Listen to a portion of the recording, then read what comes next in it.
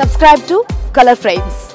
World Test Championship ఐదు టెస్టుల series కోసం విరాట్ కోహ్లీ నేతృత్వంలోని జంబో జట్టు ఈ నెలాఖరులో ఇంగ్లాండ్ పర్యటనకు వెళ్ళనుంది ఇందుకు సంబంధించి ఇరవై నాలుగు మందితో కూడిన జట్టును బీసీసీఐ కొన్ని రోజుల కింద ప్రకటించిన విషయం తెలిసిందే. జూన్ పద్దెనిమిది నుంచి ఇరవై రెండు మధ్య న్యూజిలాండ్తో జరిగే డబ్ల్యూటీసీ ఫైనల్ ముగిశాక భారత్ అక్కడే ఉండి కొన్ని వార్మప్ మ్యాచ్లు అనంతరం ఆగస్టులో ఇంగ్లాండ్తో ఐదు టెస్టుల సిరీస్ ఆడనుంది. అయితే డబ్ల్యూటీసీ ఫైనల్ ఇంగ్లాండ్ సిరీస్ గ్యాప్లో బీసీసీఐ మరో టూర్ను ప్లాన్ చేసింది.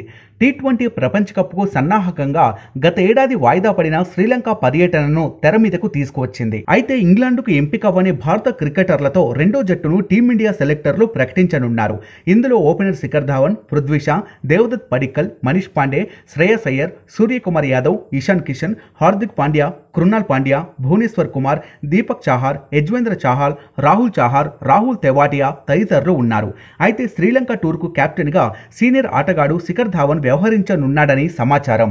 ఇదిలా ఉంటే భారత్ శ్రీలంక మధ్య జూలై పదమూడున తొలి వన్డే మ్యాచ్ జరగనుండగా ఆ తర్వాత పదహారున రెండో వన్డే పంతొమ్మిదిన మూడో వన్డే మ్యాచ్ను నిర్వహించనున్నారు. ఆ తర్వాత జూలై ఇరవై రెండు ఇరవై నాలుగు ఇరవై ఏడు తేదీల్లో వరుసగా మూడు టీ ట్వంటీలను జరపనున్నారు. సిరీస్లో అన్ని మ్యాచ్లు కొలంబోలోని ప్రేమదాస స్టేడియంలో జరగనున్నాయి. ఇక మరోవైపు శ్రీలంకకు వెళ్ళిన తర్వాత భారత ఆటగాళ్ళు కనీసం వారం రోజుల క్వారంటైన్లో ఉండనుంది. ఈ క్వారంటైన్ సమయంలోనే మూడు సార్లు ఆటగాళ్ళకు కరోనా వైరస్ పరీక్షలు నిర్వహిస్తారు. Please subscribe colour frames colour ఫ్రేమ్స్కి subscribe చేయండి. Subscribe to colour frames please subscribe to colour frames